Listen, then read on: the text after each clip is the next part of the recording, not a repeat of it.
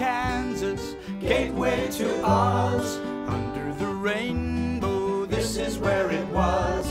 Hollyhocks and red ripe tomatoes, hand churned homemade ice cream.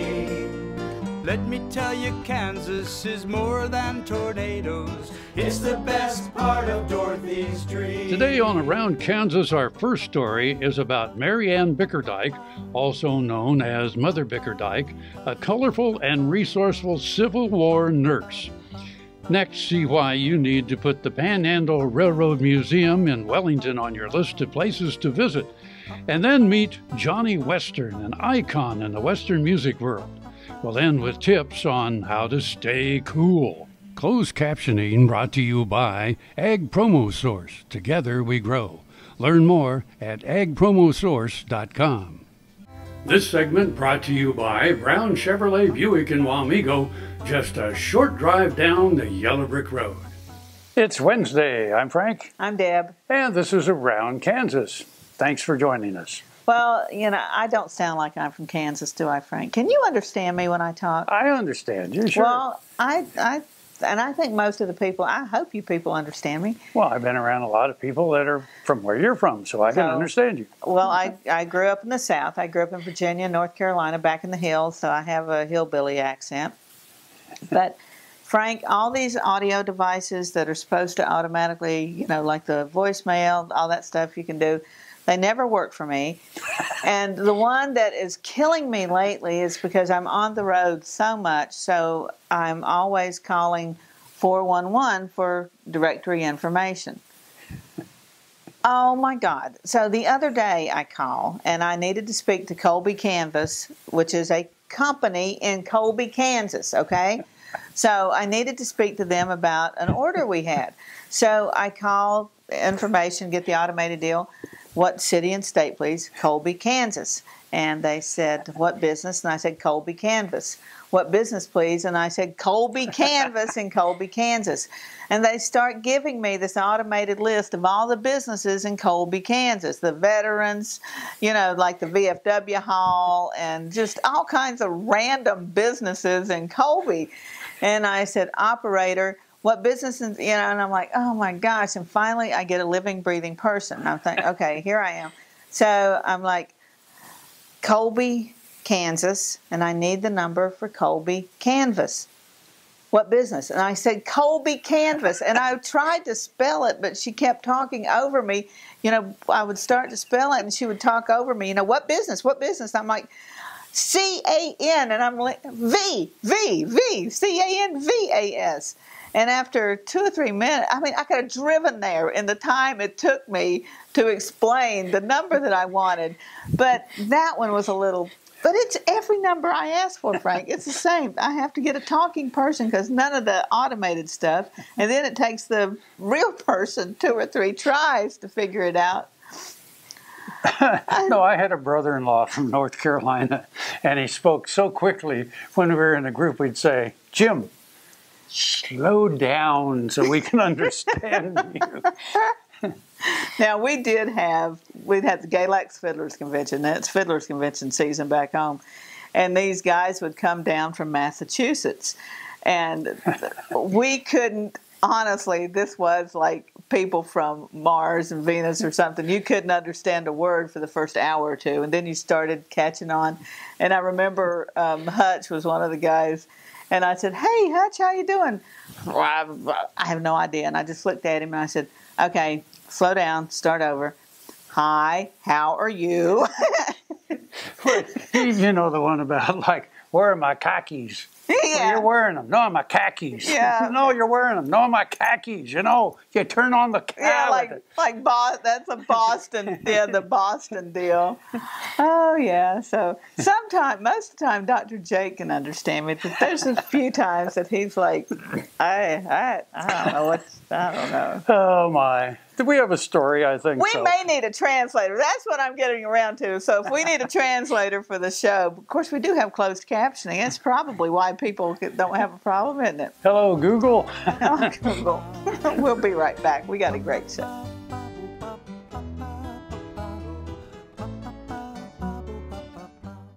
Welcome to the Jerry Thomas Gallery, where we feature my renowned artwork, frontier military, and Native American artifacts.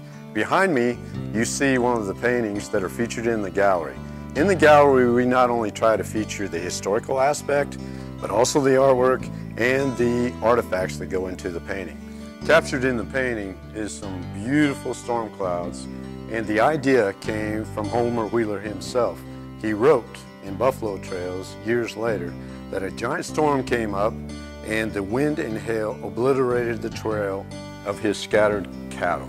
So how I created the painting was I used the artifacts that you see here in the gallery and incorporated it to the chaps on his person and also the rope and the saddle and the tack on the horse to create the lifelike aspect of Lost Trail.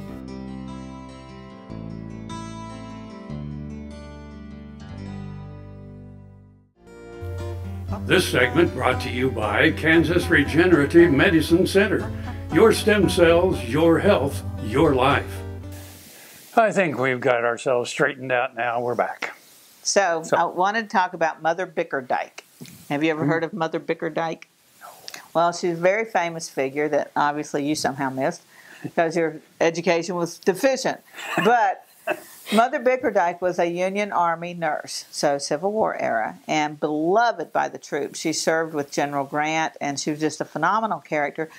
That's why you should watch this show because then you find out about people you've never heard about, oh, like sure me. Mary Ann Bickerdyke, also known as Mother Bickerdyke, was a hospital administrator for Union soldiers during the American Civil War. She was born in Ohio. After the outbreak of the Civil War, she joined a field hospital at Fort Donelson. She later worked on the first hospital boat. During the war, she became chief of nursing under the command of General Ulysses S. Grant and served at the Battle of Vicksburg. When his staff complained about the outspoken, insubordinate female nurse who was consistently disregarding the Army's red tape and military procedures, Union General William T. Sherman threw up his hands and exclaimed, She ranks me. I can't do a thing in the world.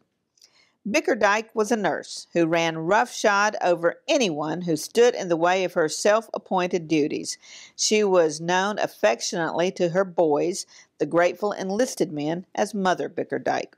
When a surgeon questioned her authority to take some action, she replied, On the authority of Lord God Almighty, have you anything that outranks that? Mother Bickerdyke became the best known, most colorful, and probably most resourceful Civil War nurse. Widowed two years before the war began, she supported herself and her two half grown sons by practicing as a botanic physician in Galesburg, Illinois when a young Union volunteer physician wrote home about the filthy, chaotic military hospitals at Cairo, Illinois, Galesburg citizens collected $500 worth of supplies and selected Bickerdyke to deliver them. No one else would go. She stayed in Cairo as an unofficial nurse, and through her unbridled energy and dedication, she organized the hospitals and gained Grant's appreciation. Grant sanctioned her efforts, and when his army moved down the Mississippi, Bickerdyke went too, setting up hospitals where they were needed. Sherman was especially fond of this volunteer nurse who followed the Western armies, and supposedly she was the only woman he would allow in his camp. By the end of the war, with the help of the U.S. Sanitary Commission, Mother Bickerdyke had built 300 hospitals and aided the wounded on 19 battlefields, including the Battle of Shiloh and Sherman's March to the Sea. Mother Bickerdyke was so loved by the Army that the soldiers would cheer her as they would a general when she appeared. At Sherman's request, she rode at the head of the 15th Corps in the Grand Review in Washington at the end of the war. After the war ended, she worked for the Salvation Army in San Francisco and became an attorney, helping Union veterans with legal issues. She ran a hotel in Salina, Kansas for a time. She received a special pension of $25 a month from Congress in 1886 and retired to Bunker Hill, Kansas. She died peacefully after a minor stroke.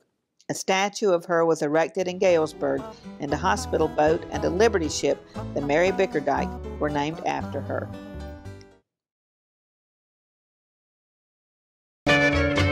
Ag Promo Source is a unique group of marketing specialists with one mission help your ag business grow. Each affiliate has their own area of expertise and they work together to bring you advice, products, and services. To get started, visit agpromosource.com. Ag Promo Source, together we grow. There's um, a lot of different ways of doing this woodwork, but I could not make a knife without both hands, especially without this thumb. And I had, my thumb was so sore that I couldn't even touch it. And they wanted to fuse it, and I said, no, cut it off because I didn't want it sticking up. And I found out about the Kansas Regenerative stem cell and went to Manhattan and had that taken care of in my thumb and now I'm able to go again. This segment brought to you by Kansas Soybean Commission. Progress powered by Kansas farmers. And here we are again, on around Kansas. So, anyway, um, you know, Kansas uh, actually has several railroads running through it, or did at one time. And uh, so there are a lot of railroaders that still live in Kansas. My dad worked for the railroad for uh, 45 years for Santa Fe. So the story I'm going to do is about a former um, Santa Fe railroad railroad worker uh, who also then worked for BNSF and retired from that. And anyway, started a museum, and it's called the Panhandle uh, Museum, and it has a lot of, especially Santa Fe uh, memorabilia in it. Harvey House, uh, mm-hmm. you know, Harvey Girls, uh, lanterns, all, all kinds of, of, really interesting things. So if you're into railroads, look this up, go see it. It's, it's worth the time. It really is. This is a Kansas profile from Ron Wilson, director of the Huck Boyd National Institute for Rural Development at Kansas State University. The Santa Fe Railroad. This railroad played a significant role in Kansas history. Today, we'll meet a couple who not only have amassed a remarkable collection of Santa Fe memorabilia, they founded a museum so that others could enjoy this history. Perry and Sherry Wiley are the owners and proprietors of the Panhandle Railroad Museum in Wellington, Kansas. This museum contains a remarkable private collection of railroad memorabilia dating from the early 1900s. Perry, or P.H. Wiley as he is known, is originally from West Virginia. While stationed with the Air Force at McConnell Air Force Base near Wichita, he met and married Sherry, who was born and raised at Wellington. PH's business career took them to Ohio and Kentucky before they came back to Kansas. In 1977, he joined the Santa Fe Railroad, which would later become BNSF. PH began as a brakeman and advanced to become an engineer. He was stationed in Wellington, which was a division point on the Santa Fe Railroad. This was a headquarters for the part of the Santa Fe known as the Panhandle Division. Wellington had a Santa Fe office building as well as a roundhouse, depot, and Harvey House for travelers. In 1992, PH began collecting railroad souvenirs and storing them in his basement. By the time he retired in 2004, he had amassed a large collection and wanted to share it with others. The Wileys renovated an historic stone building that had been built in 1886 in Wellington. In 2005, they opened the Panhandle Railroad Museum. This museum has an amazing collection of all things Santa Fe. For example, there are plates, pens, signs, caps, lanterns, lunch boxes, staplers, padlocks, towels, pins, pens, caps, uniforms, calendars, and much, much more. One feature attraction is a beautiful polished bell from a Santa Fe steam locomotive that was retired in 1952. Visitors are even allowed to ring the bell, which chimes a strong, pure tone. This bell traveled nearly one and a half million miles across the Midwest. The Wileys got the bell from a man in the nearby rural community of Milan. Part of the museum is the wall of clocks. Watches and clocks were vital to the safe movement of trains before the signal system was put into place. Switch locks and keys are also vital components. Display cases exhibit a remarkable diversity of railroad souvenirs, even including Santa Fe packaged foods. In the front room of the museum over the fireplace is a 14 foot tall painting of a Santa Fe locomotive.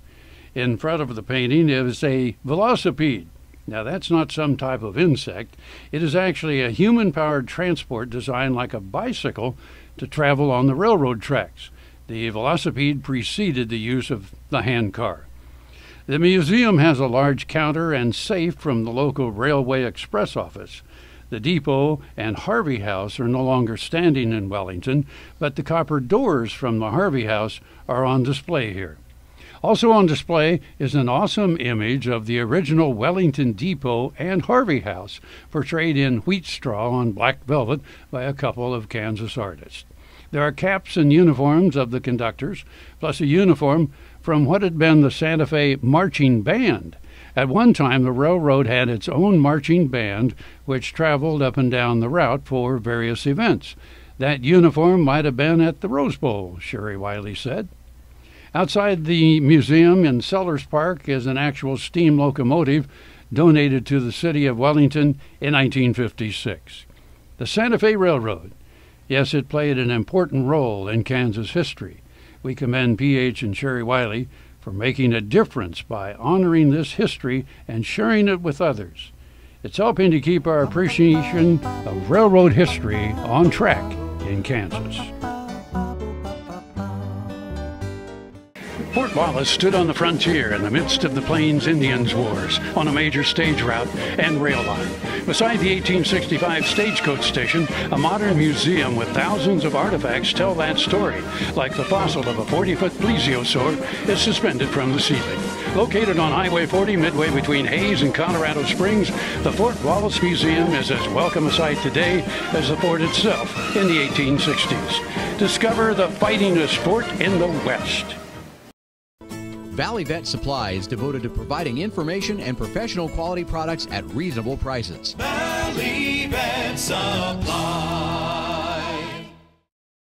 Soil is the life of a farm, and for 25 years, SureCrop Liquid Crop Nutrition has helped growers produce abundant quality crops while preserving and improving the soils they steward. SureCrop offers complete soil and plant analysis with cropping recommendations, delivery direct to your on farm storage, and quality crop nutrition custom blended for your field. Choose SureCrop for the assurance of excellence for your soil. Call today or visit their website for more information. This segment brought to you by Kansas Grain Sorghum, growers working together. Find out more at ksgrainsorghum.org.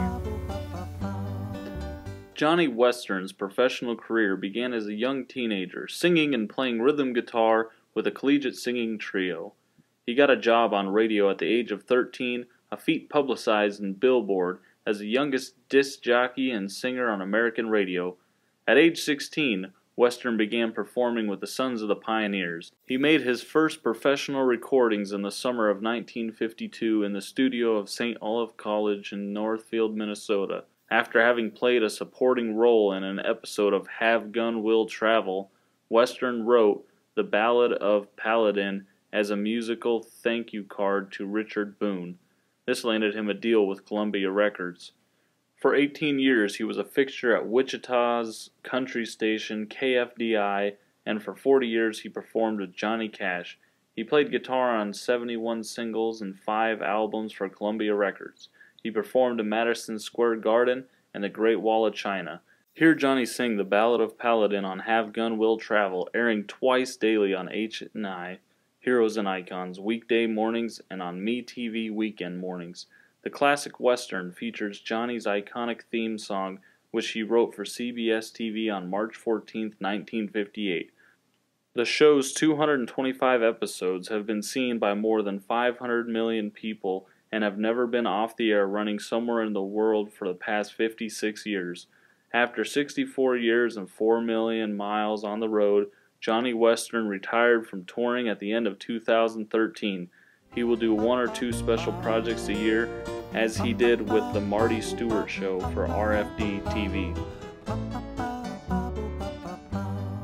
Buffalo Bill Cody earned his legendary title in Oakley. Bring the family and come celebrate Oakley's pioneering history and unique geography at two sites the Buffalo Bill Cultural Center and the Fick Fossil Museum. Cody's statue marks his achievements and welcomes visitors to the Cultural Center. The Fick Fossil Museum houses world class fossils and artifacts. You'll find Oakley at the hub of U.S. Highways 83 and 40 and I 70. Stop for the legend, stay for the day, discover Oakley. This segment brought to you by Kansas Farm Bureau, the voice of agriculture. To join today or more information, go to kfb.org or find us on Facebook and Twitter. Is it hot in here or what? It is hot in here. It is hot There's in a here. segue into a story that she's going to do. How to stay cool if you don't have air conditioning. Yeah.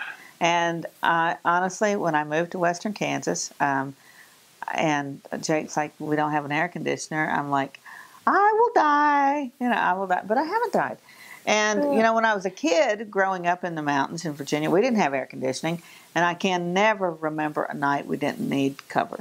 Well, in one. western Kansas, I mean, there's always a wind. There's always So if you wind, it- if you and- do it right. Right, and the elevation is higher, so it does cool off a lot more at night. So Yeah. that does make a huge difference. I mean, our days can be blistering, as my sunburn from a few weeks ago will uh, exhibit. But um, yeah, people. I love this story because one of the things I actually stole this from the Huffington Post, but it said your ancestors didn't have air conditioning and they survived. Yeah. I'm like, You know, I, I, I hate to interrupt you, but you know the tall grass prairie and the and the stone house Yeah. that is there. Yeah. It has natural air conditioning in there because the basement had a cool water spring in there. And the way they built that, and with the winds, all they had to do is open certain windows, and there was a Right, cool right. breeze that always blew through there. The Huffington Post had some ideas for keeping cool without air conditioning, and some are worthy of repeating, with AC or not. Keep your blinds closed, for lots of reasons. Hack a fan instead of turning on the AC. Not even an air conditioner can give off a faux sea breeze, but this simple trick can. Fill a mixing bowl with ice or something equally cold, like an ice pack, and position it at an angle in front of a large fan so that the air whips off the ice at an extra chilled, extra misty temperature. Huffington Post says it's magic. So do lots of folks in western Kansas. Swap your sheets. Cotton breathes easier and stays cooler. And as an added bonus, buy yourself a buckwheat pillow or two. Because buckwheat hulls have a naturally occurring airspace between them, they won't hold on to your body heat like conventional pillows, even when packed together inside a pillowcase. Set your ceiling fans to rotate counterclockwise. Whether you know it or not, your ceiling fan needs to be adjusted seasonally. Set counterclockwise in the summer at a higher speed. The fan's airflow will create a wind chill breeze effect that will make you and your guest feel cooler. Focus on the temperature in your body, not the house. If your ancestors survived without air conditioning, so can you. From sipping tasty ice drinks to applying a cold cloth to a strong pulse area like your neck and wrist, cooling yourself from the inside out is not a bad idea. Other tricks include being smart about your clothing choices and telling your partner you won't be cuddling until the leaves start changing color. Turn on your exhaust fans, again, for lots of reasons. Heat proof your bed. Go straight to the source and put a cool inducing chillo under your head while you sleep. For feet, fill a hot water bottle and put it in the freezer before placing at the foot of your bed. And it sounds strange, but slightly dampening your sheets before bedtime will majorly help you chill out. Let the night air in. During the summer months, temperatures may drop during the night. If this is the case where you live, make the most of these refreshing hours by cracking the windows before you go to bed. You can even create a wind tunnel by strategically setting up your fans to force the perfect cross breeze. Just be sure to close the windows and the blinds before things get too hot in the morning. Ditch the incandescent lights and start grilling. Even if you weren't lucky enough to be born cool, you can be cool. Oh, we have to go. I'm Frank. I'm Deb. And we'll see you somewhere around, around Kansas. Closed captioning brought to you by Ag Promo Source. Together we grow. Learn more at agpromosource.com. Homemade ice cream. Let me tell you, Kansas is more than tornadoes. We're the best part of Dorothy's dream. We're the best part of Dorothy's dream. To see this show and past episodes of Ag AM in Kansas, go online to agamandkansas.com.